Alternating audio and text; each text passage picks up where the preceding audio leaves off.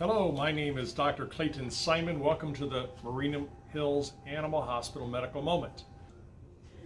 Today we're going to talk about urinalysis uh, and specifically when we find protein in the urine.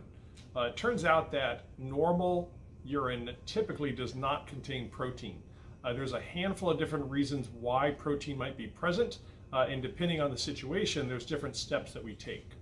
Uh, so in a boy dog, protein could be there in an intact male because it came from his reproductive parts. Um, protein could be in the urine because of a concurrent infection. Uh, so one of the first things we do if we see protein in the urine is look for signs of infection. Um, or protein could be leaking into the urine because of inflammation elsewhere in the body.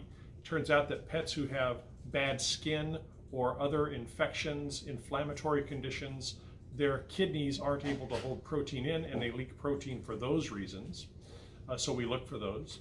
Um, also, there are some endocrine disorders, some hormone imbalances, which can promote protein in the urine.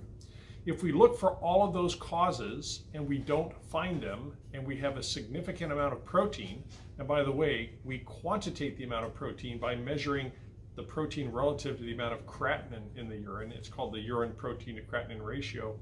If that's a big number, um, then we often are concerned about a problem with the kidney itself. Uh, and the term for that is glomerular nephritis.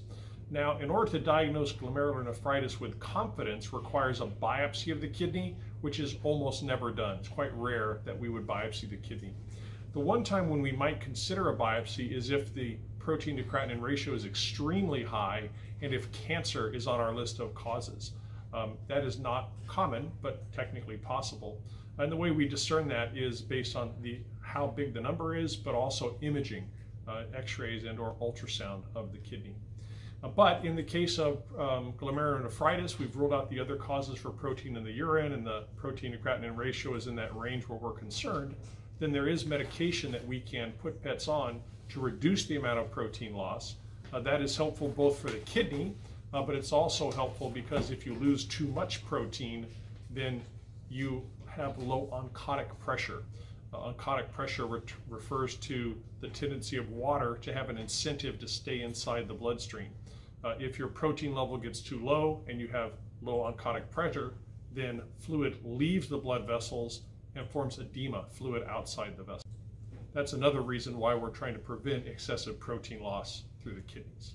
So that is a thumbnail sketch of what we do when there's protein in the urine. Uh, the short answer is we do lots of things uh, because there's many different causes.